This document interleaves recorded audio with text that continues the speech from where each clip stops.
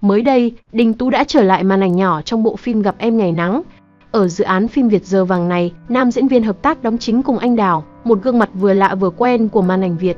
Đến nay, dù phim đã kết thúc thế nhưng các khán giả vẫn cực mê cặp đôi Phương Huy của Gặp em ngày nắng.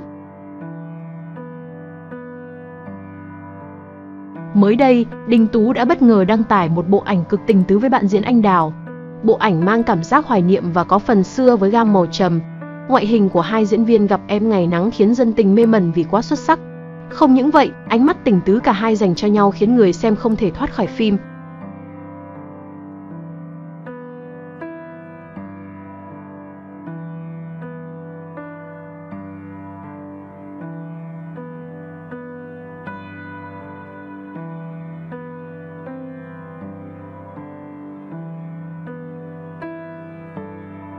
Trước đó, Đình Tú và anh Đào cũng đã tung ra rất nhiều bộ ảnh đẹp. Cặp đôi được nhận xét là cực hợp nhau và được mong đợi sẽ tái hợp trong một bộ phim khác. Nhiều người xem bày tỏ, gặp em ngày nắng tuy hay nhưng lại số tập lại quá ít. Dân tình chưa kịp thỏa mãn với sự ngọt ngào của Huy Phương thì phim đã kết thúc khiến nhiều người tiếc nuối.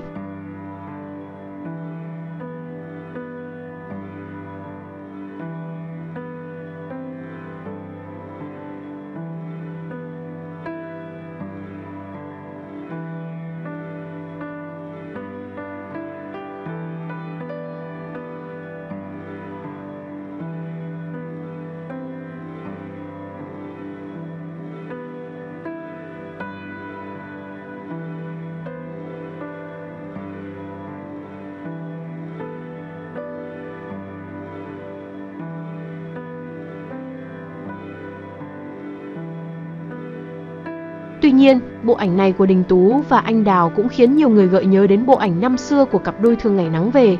Thời điểm đó, Đình Tú và Huyền Ly Di cũng đã tung ra loạt ảnh cực tình tứ, ngọt ngào. Dân tình nhận xét Đình Tú sở hữu ngoại hình điển trai nên dù đứng cạnh nữ diễn viên nào cũng trông cực kỳ đẹp đôi. Hiện tại, dân tình đang vô cùng mong ngóng Đình Tú có thể tái hợp cùng anh Đào hoặc Huyền Ly Di trong một dự án phim khác sau gặp em ngày nắng và thương ngày nắng về.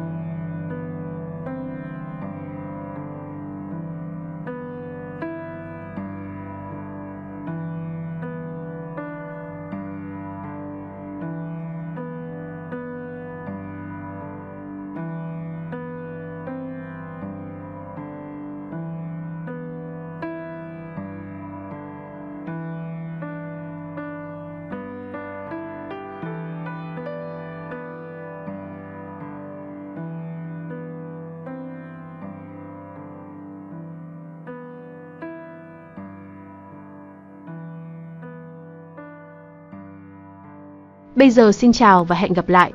Chúc các bạn có những phút giây thư giãn cùng thông tin 24 giờ. Đừng quên nhấn like, subscribe ủng hộ.